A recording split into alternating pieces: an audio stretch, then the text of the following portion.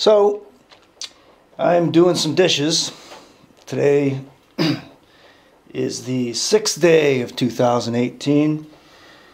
And I still have no water and probably will not have water till spring.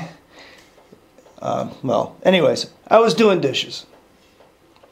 And the water that I was using got cold and I decided to heat it up a little bit. Um, I'm actually, the water looks really gross. Um, but I'm washing the top of the stove now so it's not as critical. Uh, but I wanted to heat, heat up the water a little bit so I put it on the stove.